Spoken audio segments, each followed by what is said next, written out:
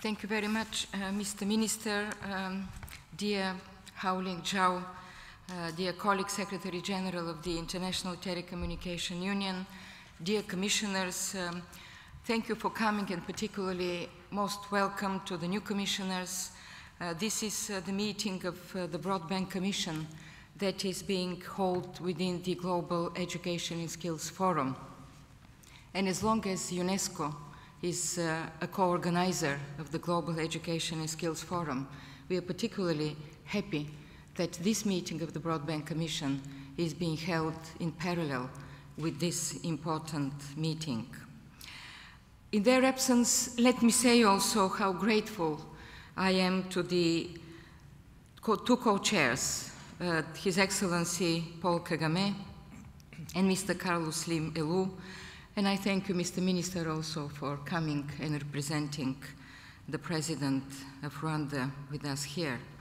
And of course, my thanks go to my dear colleague, Houlin, Vice Chair, and to the ITU colleagues for all their efforts. I can hardly think, as I said, of a better time to hold this meeting here.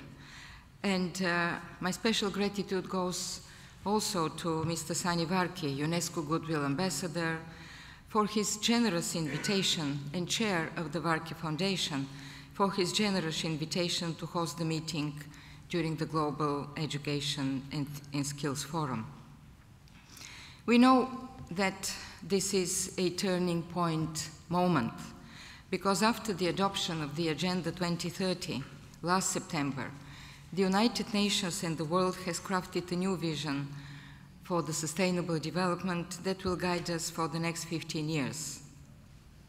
And in December, the General Assembly completed the World Summit on Information Society Plus 10 review, recognizing considerable progress in promoting new technologies for development.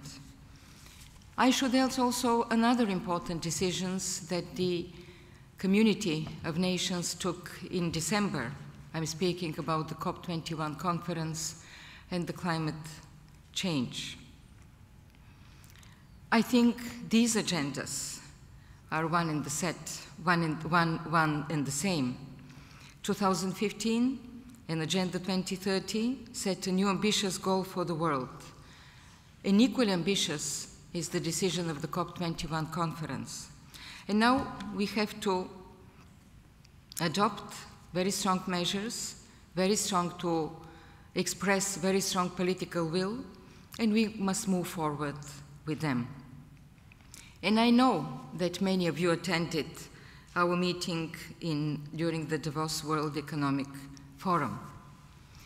And what at that time was called by the founder of the Economic Forum, Klaus Schwab, he called the fourth industrial revolution, and also he very clearly expressed what are the stakes. We are going through a staggering confluence of technological breakthroughs that can open vast new horizons for growth and development. And this will happen, we all know, only if breakthroughs are led in ways that empower everybody, all women and men, and all societies, only if we ensure inequalities are not exacerbated. This is what the Agenda 2030 has in mind when it says leave no one behind. The stakes are very high. There remain 1.3 billion people without electricity today, and 4 billion people without access to internet. Because we know that access and connectivity are absolutely crucial for societies to achieve sustainable development. This is also the message of our Broadband Commission for Sustainable Development, and what we will come also as solutions, as messages, is so important. New technologies are transformational force to build inclusive knowledge societies. And for this, access is essential. And access must also include investments in skills, in education, in relevant content. Today, more than ever, we need also smarter broadband, broadband that empowers women and men to become everything they can. broadband that ensures equal access to education, that enhances the quality of learning and education inside, outside classrooms, across the world. And this was the theme of UNESCO's 2016 Mobile Learning Week. We just closed, it was just last week. Broadband that strengthens the sustainability of development efforts, bolstering the foundations of inclusive knowledge societies. This is also a promise of positive change.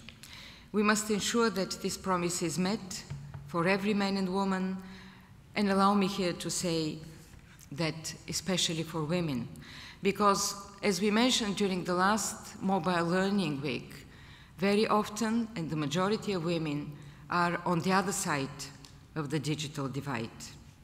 And technology should cross divides and not deepen them. New opportunities must be available to all, to empower all, to benefit all. And in this light, I would propose that we consider, as we have discussed also with the Houlin, that maybe we renew our work on gender equality, we express, we explore new ways on the basis of what we have done already, our very good work of the Commission that was um, established here, the, the committee that was established here within the Broadband Commission, an important report that we have presented. Maybe we could look once again with fresh look on how to bridge the gender digital divide at every level.